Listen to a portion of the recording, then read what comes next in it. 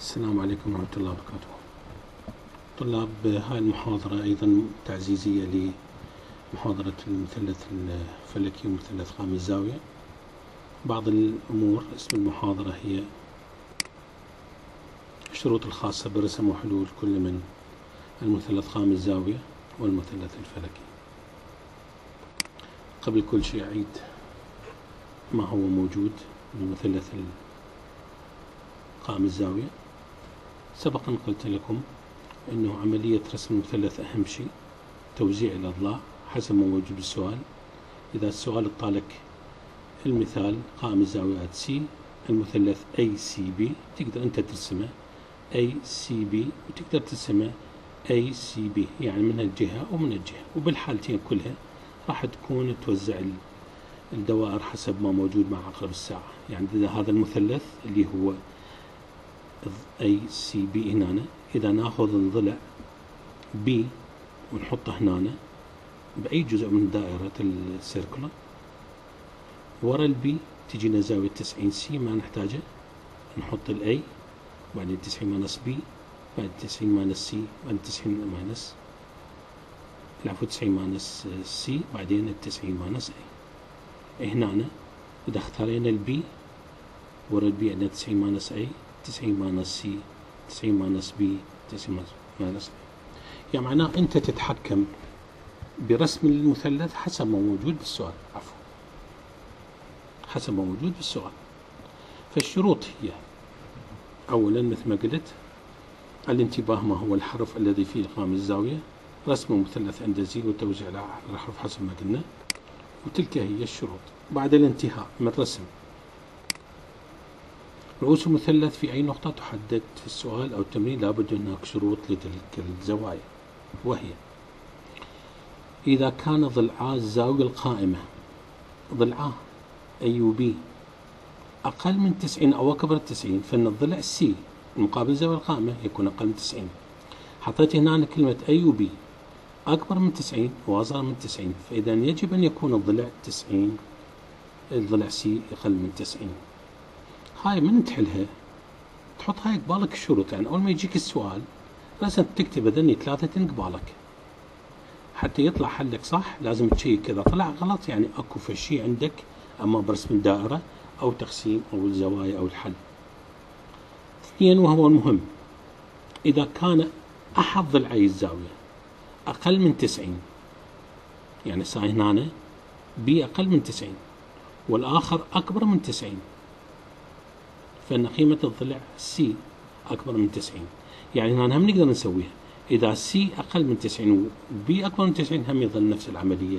سي أكبر من 90 عند ظهور أي قيمة سالبة لأي زاوية فإنها تتعامل مع 180 درجة للحصول على نظيرتها والحال الصحيح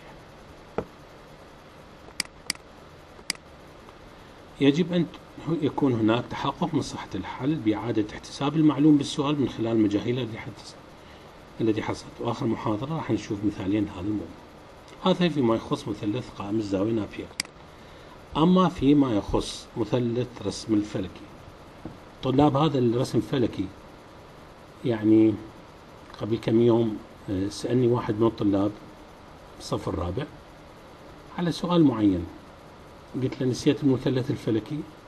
فهو يعني إيه هالقوانين؟ راح أرجع واقول لك راح تجي لك أنت أيضا بالجودسي فلا بد انت تعرف شنو معنى الفاي وال H وال hour angle وال altitude شلون ترسم شلون كذا. لازم تعرف ال zenith وال pole والافق وال equator المهم إن الغرض من رسم المثلث الفلكي هو لإيجاد العناصر الخاصه فأما نجد الاتجاه أو زاوية الساعة أو الميل أو الارتفاع أو زاوية العرض حسب اعطينا السؤال. يعني كل موجود بالسؤال ما نعرف شنو يجي. بس إذا أريد نحل هذا المثلث بأحد الشروط يعني راح أعوف ال phi وأعوف ال altitude وأعوف ال declination راح أتشلب بال hour angle وال azimuth. في الحالة الأولى في حالة إعطاء قيمة ال hour angle of star أقل من 180 درجة. يعطيك إياها بالسؤال. أقل من مثلا أعطاك إياها 25 45 حتى ال 100 أقل من 180 فشنو هذا الشرط يترتب عليه؟ يترتب عليها من نشوفها أقل؟ يعني ال pole يكون يسار ال zenith. يعني هسه شوف هذا مثال. هنا الزاويه إيش قد hour angle 42 point 42 درجة 6 دقائق. مباشرة راح ترسمي هذا الرسم. يعني ال P راح تصير يسار ال Z. وطبعا P Z يشير إلى ال north. وبما أنه زاوية الساعة أقل من 180 فهذا يعني أن البول على يسار الزيت. وأيضا بما أن زاوية الساعة التي تقاس على دائرة الأفق من الجنوب من الساوث. إلى مسقط النجم. وين النجم؟ إيه هذا؟ مسقطة وين؟ مسقطة هنا على الدائرة الأفقية. سيكون باتجاه الغرب. فإذا النجم راح يقع بالجهه الغربية من الكره الأرضية من كرة السفير هنا؟ بهذا السؤال راح يعني واحد من الأسئلة أنا لقيته. The hour angle of the sun 42 درجة 6 دقائق. And since it is measured towards west باتجاه الويست the star is in the western part of hemisphere. يعني هاي شرط لازم يتحقق وموجود لك ولازم تفهم من تشوف المثال H أقل من 80 راسا نقول هذا البول على اليسرى. وقعد انت احسب الزاوية مالتك. زاويه الساعة والازمان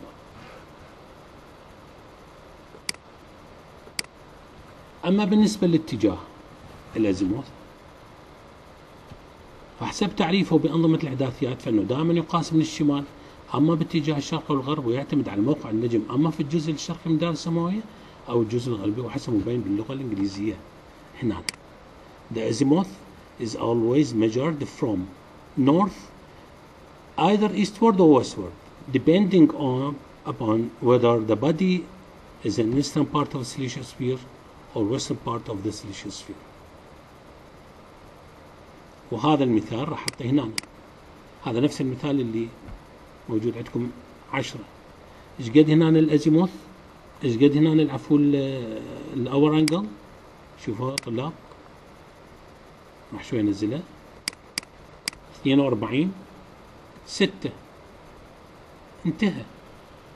42 6 اذا اي هذا الرسم يكون قبالك. هسه أنا ما علي بال declination وما علي بال latitude أنا هسه دا أدور. هنا السؤال يقول احسب ال azimuth. أنا هسه محاضرتي شلون أحسب ال azimuth وال hour angle بال آه، ال azimuth من hour angle بالمثلث الفلكي. أجعل هذا المثلث the hour angle of the star 45 and since it measured toward the west then the star is the western part of the hemisphere كما هو مبين بالشكل. عندنا المثلث ام هو يريد ال azimuth.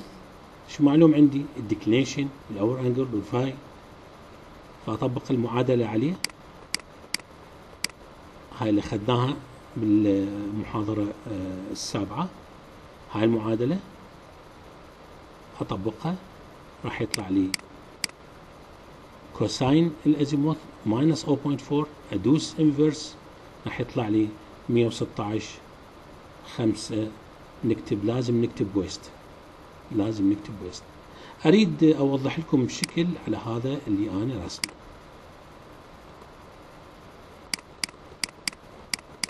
شوف طلاب هذا نفسه ذاك الشكل نفس هذا الشكل. هذا الاتش هو نفسه هذا الاتش باع من الساوث إلى الستار إذا إيش قد قيمتها؟ 42 درجة. هذه تطلع قبال ال A طلعناها 116 درجة. ال A شلون طلعناها؟ بقانون ال cosine مال المثلث الفلكي. شلون أحسبها؟ أحسبها من أنا من N من حسب التعريف. وباتجاه ال west A هاي من هنا 116 درجة باتجاه ال west. هذا ما يسمح لي نشرح بهذا حتى الحجم مال ال file يكون أقدر أوصله بشكل سريع. وأكمل بعدها محاضرة أخرى. شكرا.